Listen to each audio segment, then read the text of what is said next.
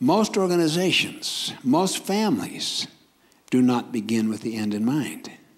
Just ask yourself this question What is the purpose of your organization? Try asking 10 people in any organization. I'll guarantee you they're not on the same page. They're all over the board. Try it in your own family life. Next time you have dinner with your loved ones, just look around and say, What is the purpose of our family? And see what they say. They'll think you flipped out. They'll think you're trying to apply business stuff in a family setting, like developing a family mission statement. I don't care what words they want to use. If you do not consciously direct the first creation, I'll guarantee you, it will be directed by your history, by your habits, by your moods, by your autobiography.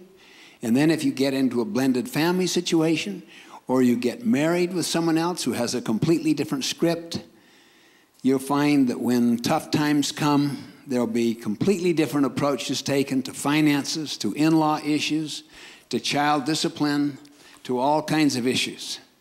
That's why it is so basic and so foundational to always start every endeavor with a clear sense of purpose.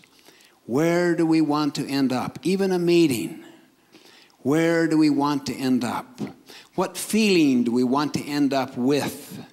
Not just an improved decision, but a commitment to that decision.